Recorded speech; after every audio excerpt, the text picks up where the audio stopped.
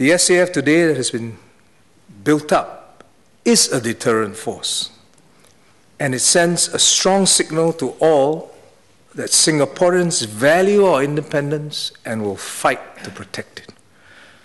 This signal, this unequivocal signal of deterrence, is priceless. The SAF has also responded well to security challenges, even unexpected ones, as we've done in Afghanistan and the Gulf of Aden. Another test that validated whether our SAF is ready was our response to the Indian Ocean tsunami in 2004. Because if you remember, this happened on Boxing Day, so there was no prior warning. But we were able to quickly dispatch a Charlie 130 aircraft with supplies and helicopters to assist in the efforts, as well as our LST, our landing ship tank. The RSS Endurance carried over 400 people, more than 50 vehicles, and a large amount of relief supplies. This was, of course, to Aceh.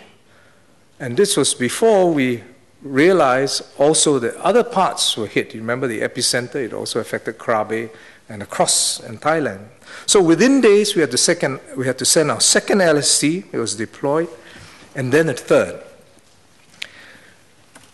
At this time, our fourth and remaining LST was deployed in the northern Arabian Gulf. For your information, we only have four LSTs, all deployed, 100% operational efficiency, button push, all out, deployed, ready, men and machine working well. It is because we've invested steadily, trained our men, made sure that our systems are optimized, that we are able to do this. And when called to do more, the SAF will step up. Will step up. Ms. Ellen Lee asked about our national maritime security system, and the SAF has stepped up to coordinate and control this maritime security system. We have done well thus far, but MINDEF and the SAF must again be positioned strongly for the future. Mr. Sitoh Yih Pin, Mr. Nicholas Fang, and Mr. Pritam Singh asked about this. The question is, what are we building for the future?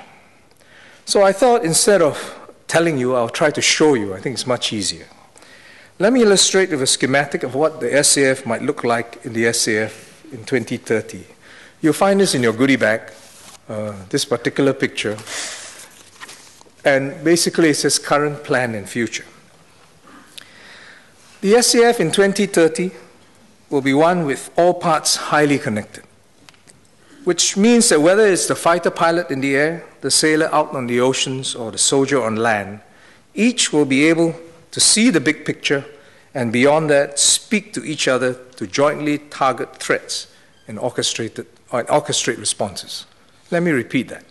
Whether you're a fighter pilot, a sailor in the ocean, a soldier on land, you'll be able to see the big picture, speak to each other, orchestrate targets, jointly target threats, and orchestrate responses. Sounds simple, but very, very difficult to do. This concept of a network force is now a reality, and the SAF is a front runner in global terms in realizing the full potential of a networked military. In 2030, our F 16s would have been upgraded with what we call the AESA radars, active electronically scanned array radars, which are more precise, which are, can see further and perceive greater precision, and will have more precise air to ground munitions. The F 16s upgraded with our F 15s will be able to defend our airspace ably. In addition, we have acquired our next generation fighter aircraft, which I think Mr. Pritam Singh asked about. We're not quite ready to decide yet. We'll take our time because our F 16s and our F 15s serve us uh, for this for the near term and medium term. We will also have in place multi layered air defense capabilities with the deployment of the Spider and Aster 30 surface, air, surface to air missiles. In other words, layers of air defense. Our current KC 135's aerial tankers will have been replaced by the Airbus A330 multi role tanker transport, which we have decided to acquire. The MRTT or the A330 can hold 20% more fuel than our current KC 135s and will extend the range of our fighters through air to air refueling. The, the Airbus 330 can also double up as a cargo and troop airlift to deploy troops and equipment to overseas sites further away, as we've done in HADR operations. You'll be familiar with the A330 because you fly in some of uh, these commercial planes. For our Navy, the two Type 218 submarines will be in operation together with our two Archer class submarines. Our frigates operating the Sikorsky naval helicopters and our new littoral mission vessels will form the mainstay of our surface fleet. The naval helicopters have proved to be effective and versatile for a wide range of missions. When we deployed them in the Gulf of Aden, they validated their usefulness in counter piracy missions. And therefore, the SAF has decided to acquire two more naval helicopters. The SAF has also found the multi-role LST to be an effective workhorse in our relief efforts. So whether it was in Indian Ocean, tsunami, the Northern Arabian Gulf, whether it was to uh, relief efforts to elsewhere, they were found to be effective, but uh, if there was one limitation, it was in their carrying capacity. We, have there, we are therefore studying carefully the need for larger LSTs that can carry more helicopters as well as more cargo. The Army in 2030 will certainly be more mobile. I'm talking about the Army now.